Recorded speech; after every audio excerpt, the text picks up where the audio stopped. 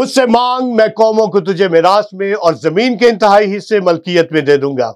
مسیح یسو کے عظیم بابر کے جلالی نام میں آپ تمام نیشنل نیوز دیکھنے والوں پر خدا ان کی سلامتی ہو۔ میں بابری مینول آج صبح آپ کو ویلکم کرتا ہوں پروگرام خدا ان کی آواز میں۔ آج ہمارے ساتھ خدا ان کی خادم پاسٹر برینٹ موجود ہے۔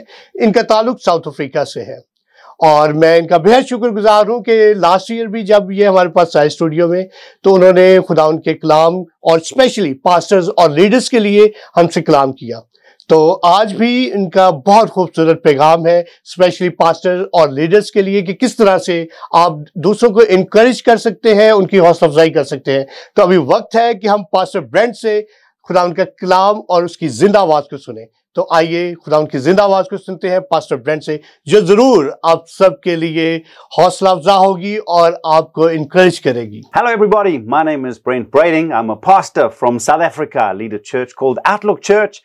And I'm also a member of an apostolic team called the New Covenant Ministries team. And uh, it's my privilege to be here in Pakistan. We have been doing some leadership training with some of the churches. And what a great joy for me to be on national news once again. I was with you last year when we did our visit. and it's a great privilege for me to be with you once again. And I'm going to take a couple of minutes today to share about leadership. I have been a leader in the church for 30 years now, and for 30 years I've been studying what it means to be a biblical leader. And what I've discovered is the power of leadership. You see, what happens is that when we grow our leadership, everybody benefits. Everybody wins when the leader gets better. The church grows, the team is more encouraged. Uh, even your family or your business or wherever your place of work might be. If your leadership, your biblical leadership grows, everyone around you wins.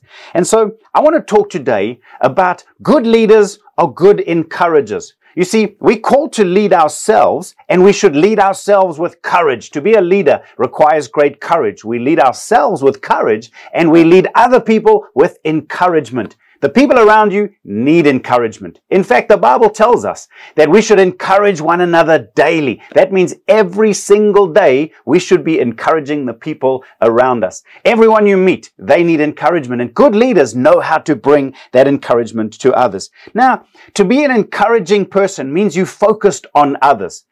People who are encouraging, they're always asking questions. They speaking kind words. They focused on others not focused on themselves. Too many leaders are focused on self. That's not encouraging. That's arrogant. Encouraging leaders focus on others. So I want to start by looking at three amazing examples of encouragement from one from the Old Testament, one from the New Testament, and one, it was actually a whole church was an encouraging church and then show you the power of encouragement that it brings. The first one is Jonathan. Some of you will know the stories about David. Remember David and Goliath and King David. And David had a good friend. His friend's name was Jonathan, and Jonathan was the son of the king. Jonathan should have been the next king. And yet Jonathan realized, David, my friend, this is God's chosen one. He'll be the next king. And I want to read to you from the book of 1 Samuel, chapter 23, verse number 16 and 17.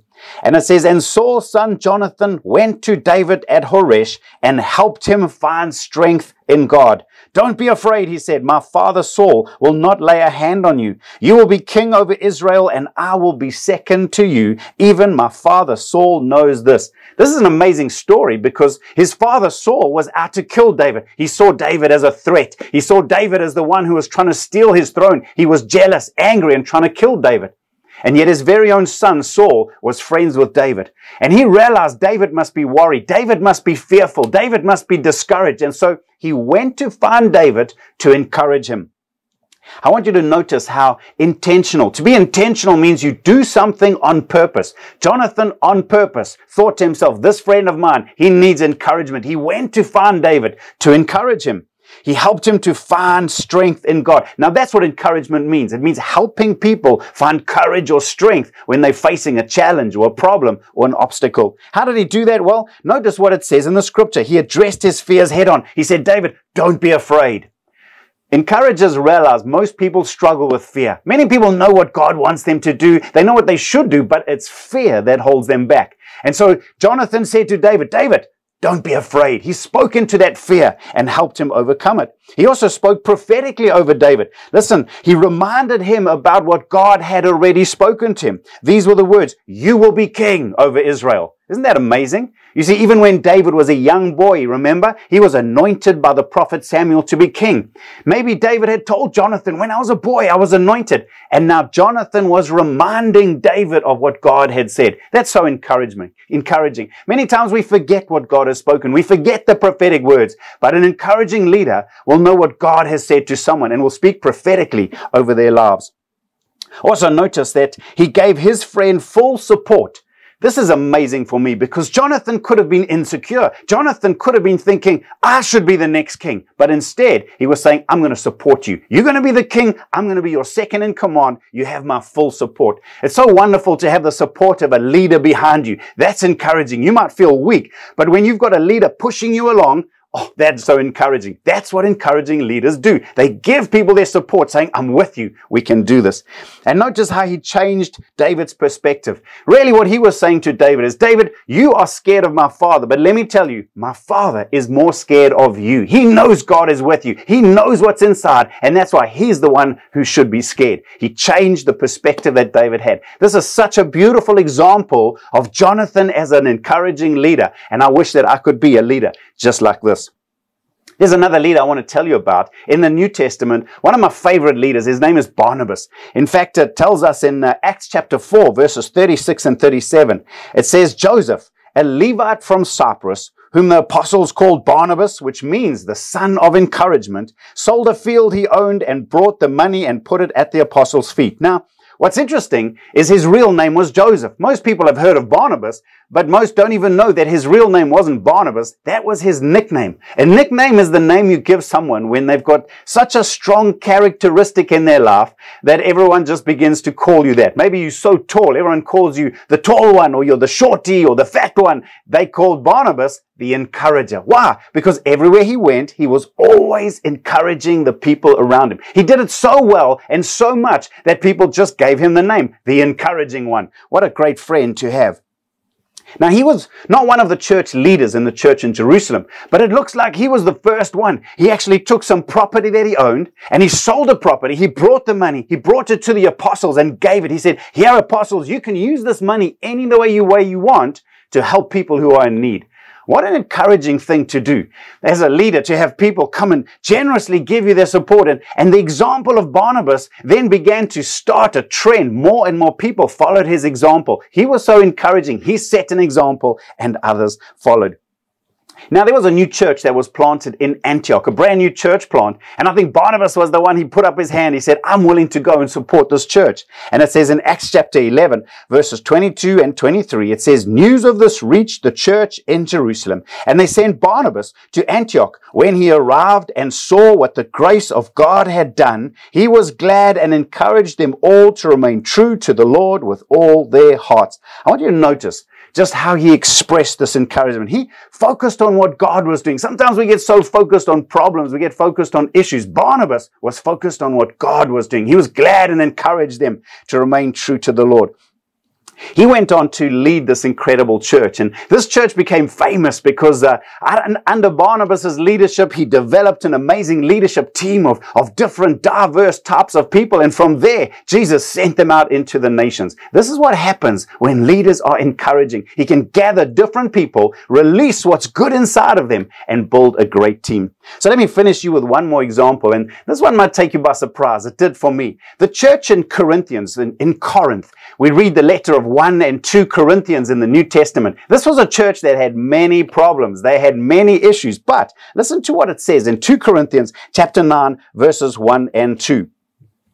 It says in verse number one, there is no need for me to write to you about this service to the Lord's people, for I know your eagerness to help, and I have been boasting about it to the Macedonians, telling them that since last year you and Achaia were ready to give, and your enthusiasm has stirred the others into action. Don't you love that? Enthusiasm. When a leader is enthusiastic, they encourage others into action. And here was a whole church. This church was enthusiastic about serving God, and their enthusiasm encouraged other churches to get involved. You see, that's the power of encouragement. Your enthusiasm encourages others to get involved. That's why as leaders, when we set an example, when we model enthusiasm, positivity, when we focus on what God is doing, it inspires the people around us to get involved.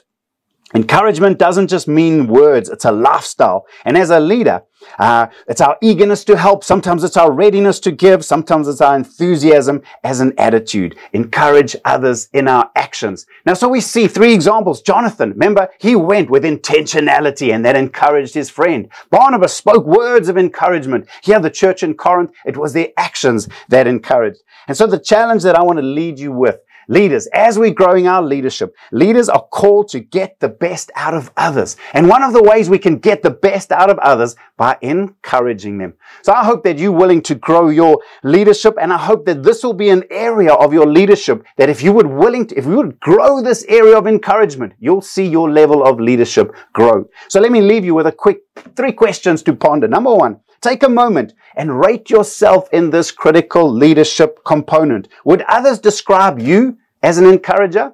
Yes or no? Question number two. Of these three examples, Jonathan, Barnabas, and the church in Corinth, which one stands out most to you and why? What was it about them that inspired you? And then last question. What is one step of intentionality that you can commit to that will grow your encouragement as a leader? I want to encourage you leaders, grow in this area. Become an encourager. Focus on others because as you encourage them, as they get better, you'll get better and the team will win. I hope this helps and I pray that your leadership would continue to grow. And I hope that next year I'll be able to do another episode for you here on National News. God bless. And I hope you have a wonderful day. Bye for Let's spend a moment and pray for this, uh, this area of encouragement. Heavenly Father, I want to thank you for every leader who's watching and every person that is watching this show right now. And Father, I pray that you would encourage them and that they would become encouragers of others. I pray that the Christians who are watching and the leaders who are watching would grow and increase their ability to encourage others because as we encourage others, we are encouraged, they are encouraged, and together we will grow. Do this we ask in Jesus' name. And God's people say, Amen.